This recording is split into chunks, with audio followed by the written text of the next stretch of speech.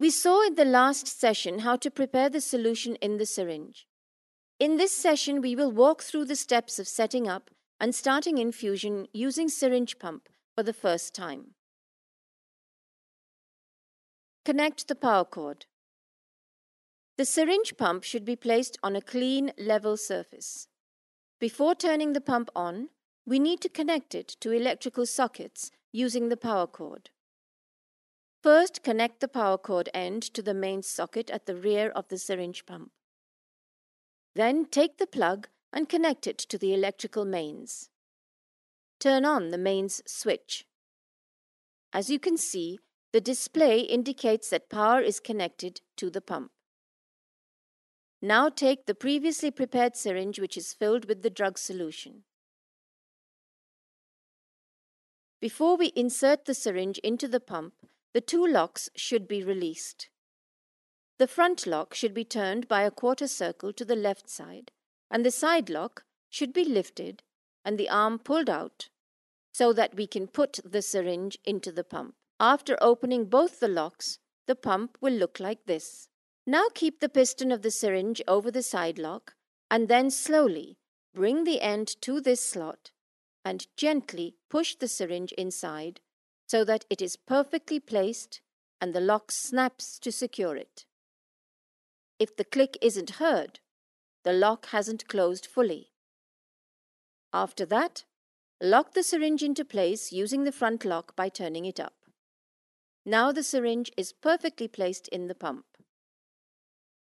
Turn the pump on. To switch on the pump, we press the On button on the keypad.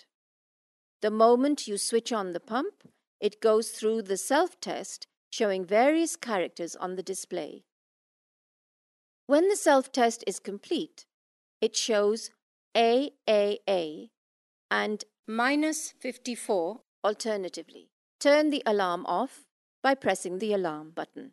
Set the flow rate. F is the function key. Press the F key, which now allows you to enter the flow rate using the number keys on the keypad. We had calculated the flow rate to be 5.8 milliliters per hour earlier. We will now enter this into the syringe pump. Now press the start button. The pump is now ready to start the flow of the drug solution at this rate. Now we should connect the feeder tube to the patient via the central or peripheral line. We connect the end of the feeder pipe to the three-way stopcock. This is the three-way stopcock. This pipe is from the patient's side. Now I am going to connect this pipe to the three-way valve. The three-way stopcock should be blocking the entry connector where this line will join. Make sure the feeder tube is full of the solution, then connect it to this connector. Then turn on the three-way valve to allow the flow to begin. Start the pump by pressing the start button now. You can see the wheel starts rotating. This means that the pump has started to push the solution into the connecting pipe. Documentation after starting the infusion, we should document it. This is the chart we follow. This has information in various columns giving details of injection, dilution, time, dosage, rate of flow of infusion, doctor's signature, given by, and checked by.